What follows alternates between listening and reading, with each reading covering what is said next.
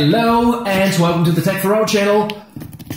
I'm very excited because this is the first time ever a web store has decided to send me over a product for a review. And we already have an arrangement. I'm going to make the review as honest as possible, so it's not going to be extra nice or extra bad. If you want to send a device over for a review, feel free to check the description and find out how to reach me. And of course, thanks a lot GearBest for providing this um, FPV drone. Speaking of which, let's have a look at it.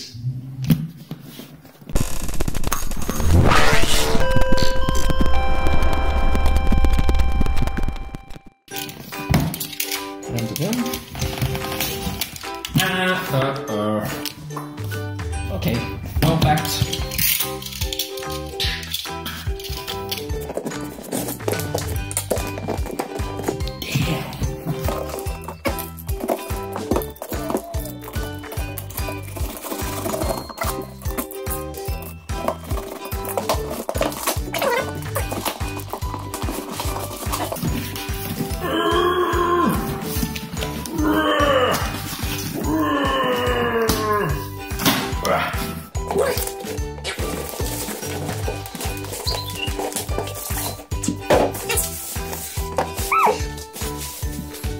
Right, there it is, the Visuo drone.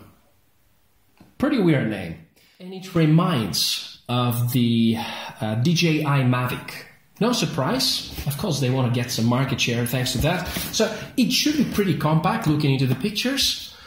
And let's switch the view and have a look what's inside the box. The model I got is the XS809W. From the grey and black color options, I have the latter one. Apparently, you have three main versions of the drone, without camera, with a non-FPV camera, and with an FPV camera.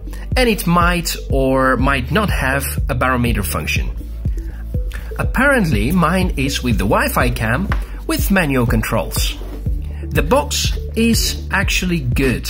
Because the drone doesn't really need assembly, you can use it as a carrying box all the way. I'm sure it will do a good job. Considering the low price, you have the standard accessories. The prop guards are quick mountable, no screws are required.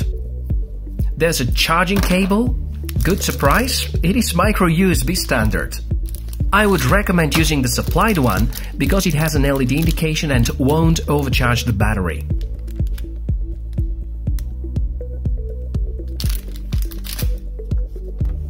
A joystick-like remote controller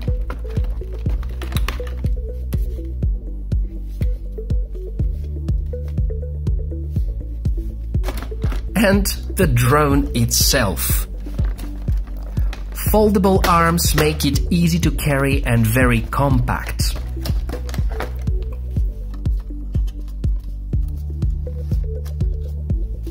There's something I need you to hear though.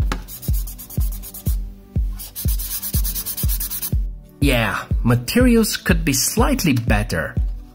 That is one of my few remarks. I do have the feeling that this drone is not a survivor and a drop may easily cause damage to the arms.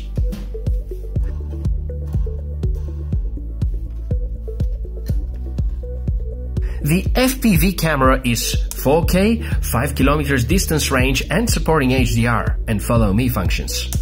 Uh, not really, that was a joke. It is 0.3 megapixels and has a range of up to 100 meters, which I'm about to test rather soon. It took me some seconds to figure out the way to pull out the battery. Just press it hard and it goes out. 900 milliamp hours giving you 10 minutes of flight time.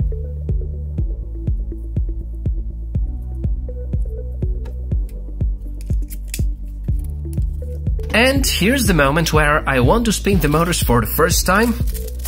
Let's put the batteries in the RC.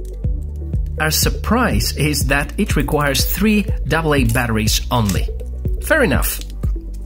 If you have ever controlled another drone with a similar size and brushed motors, you will feel rather comfortable. This one has 3 speeds, headless mode, return to home key, and the rest of the well-known commands.